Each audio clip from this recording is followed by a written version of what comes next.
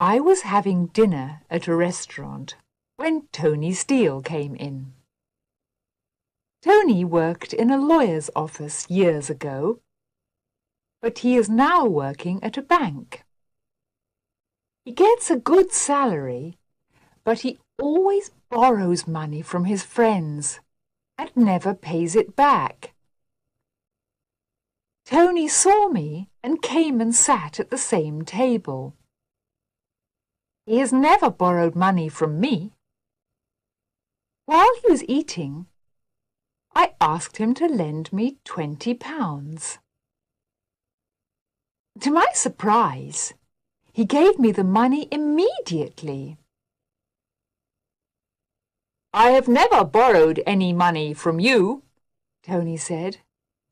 So now you can pay for my dinner.